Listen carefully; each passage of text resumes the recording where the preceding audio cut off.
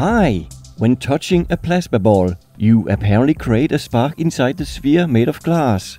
But why is this spark attracted to us? The electricity does not pass through the non-conductive glass. Or what? Why can a ring sting you ah. when touching the outside of a plasma ball? Mm. In this video, I will attempt to catch and visualize the electric field of the plasma balls and investigate why I am attractive to the filaments inside. Do I need to be grounded? And what happens if I, for no reason at all, decide to use the power supply from an 8-inch plasma globe on a 5-inch globe? Let's find out.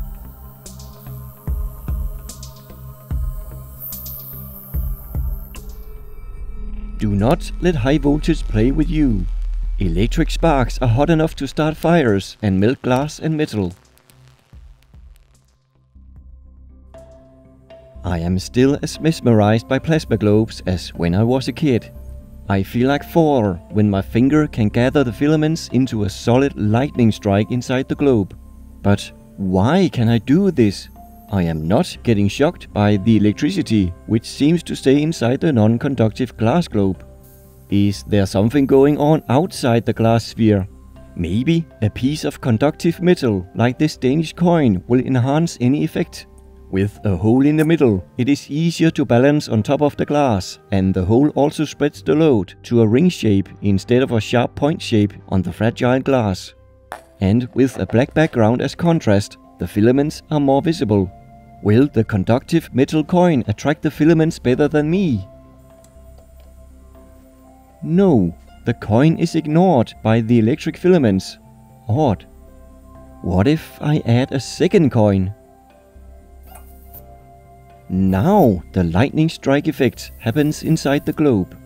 But even more interesting. Sparks are jumping between the two coins. The effects of the plasma ball's electricity are not all confined by the glass. AC currents are clearly induced in the conductive coins. Don't do this for too long. The glass and the coin on the glass get really hot from the plasma lightning and sparks. And if you touch the coin to feel how hot it got, you will get zapped. You may already have experienced this interaction if you've touched a plasma globe while wearing a highly conductive silver or gold ring. It ah. gets unpleasant when a small spark jumps, like petting a vibrating cactus. Now, I don't have a pacemaker or metal implants, but it feels weird being in the conductive path for these sparks. My fingers tingled a little after this. It may be psychosomatic, or simply degenerated ozone irritating my skin.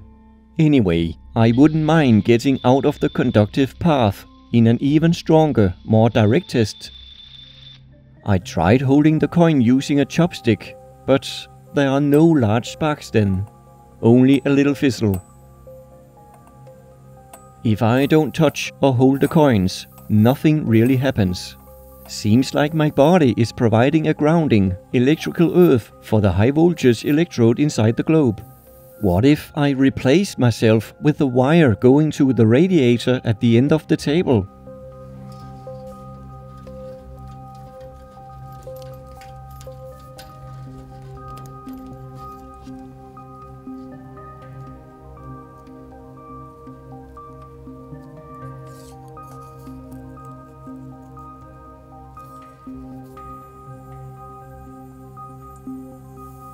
Oh yes, the electricity is not only attracted to me, it is attracted to anything that provides a path to ground more conductive than the insulating air. Give it a shortcut and it follows that. Electricity really is lazy and will follow the path of least resistance. With me out of the conductive path, I can be more bold. Let me go directly to the source of the high voltage. I will start with a smaller one. I don't recommend trying this yourself. The pain is real in case of a mishap. Here it goes.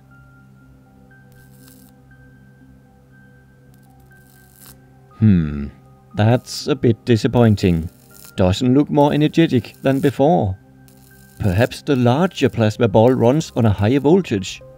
I bought this one secondhand for less than $4, so no tears will be shed if I break it. Though I wonder how new it is. Maybe something on the inside will reveal it.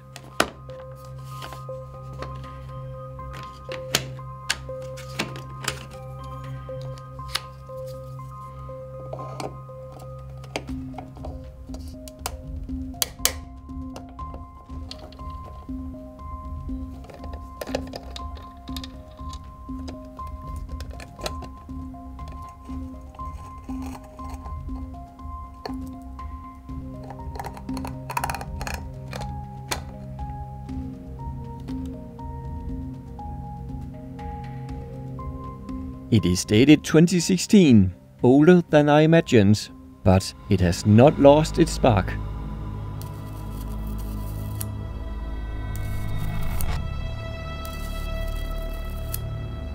The sparks from it can be drawn around 3 times longer than from the smaller power supply.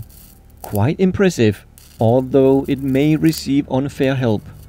Notice the bright orange colored light in the spark. The wire scrape off some of the conductive paint from the inside of the sensor globe. It is a dark greyish coating that looks like graphite, an electrically conductive allotrope of carbon. The bright orange glow does indicate the presence of carbon atoms in the spark. Still, there's no doubt that the larger plasma ball runs at a higher voltage. Gives me an idea. What if I use the power supply from the 8-inch plasma globe on a 5-inch ball? Stay tuned for the results after this short but important message.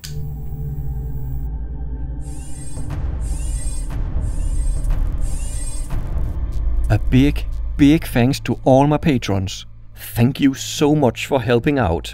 It's really appreciated and important for a niche channel with monthly quality uploads like mine.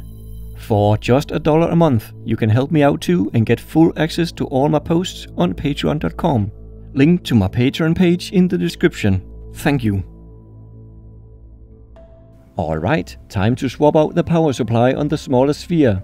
The standard power supply for it is clearly of lower wattage, with a smaller capacitor and not even a heatsink on the transistor. I would like some more oomph please.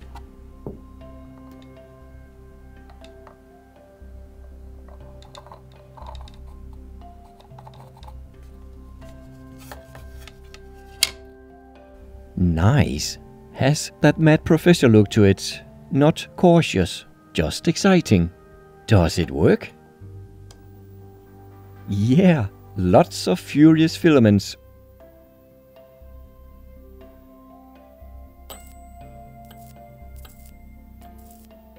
Draw some nice sparks too, though it looks like a lot of energy is lost to the chaotic, disordered filaments. How does this overpowered plasma ball compare to an underpowered one of the same size?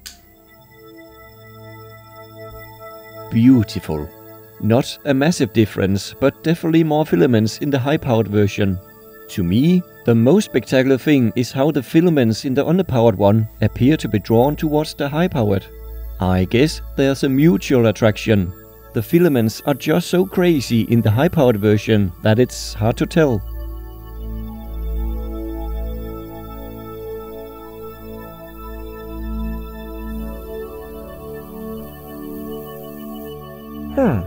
After touching both globes, the mutual attraction seems even stronger. Maybe I do have magical hands after all. Comment if you have a better explanation for the increased attraction after being touched.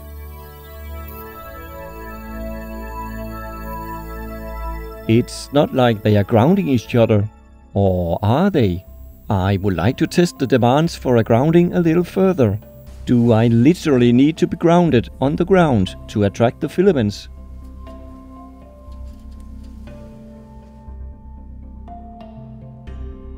If I use the coin with an ungrounded wire, the coin still draws sparks way better than without the wire. Almost as good as when grounded to the radiator. I might regret this, but I need to unground myself, float insulated in air. Not exactly easy with one arm locked in place on the plasma ball. And I never move fast or far under my own power. Not to mention the risk of dropping the plasma ball and landing on shattered glass mixed with a live high voltage wire. I'm no John McClane, you know. Ah well. During a jump, I will only briefly be electrically ungrounded. Luckily, the plasma ball's response to the loss of a conductive path is immediate. I'm ready for the test. Will I still attract the filaments while floating, insulated in air?